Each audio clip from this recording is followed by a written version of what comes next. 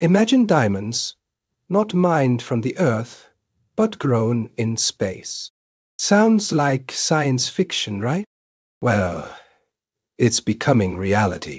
Scientists are using high pressure reactors in orbit to create these space grown diamonds. These reactors simulate the intense pressures deep within the Earth, but in zero gravity. Why space?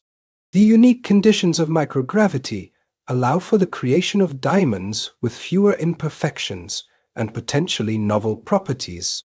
These space diamonds could revolutionize industries from electronics to medicine due to their enhanced purity and unique crystal structures.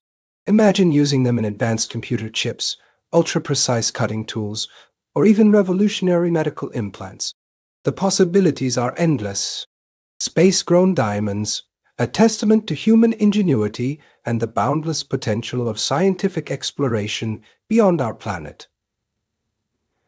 Ben, what do you think about this exciting new frontier in material science? Let us know in the comments below.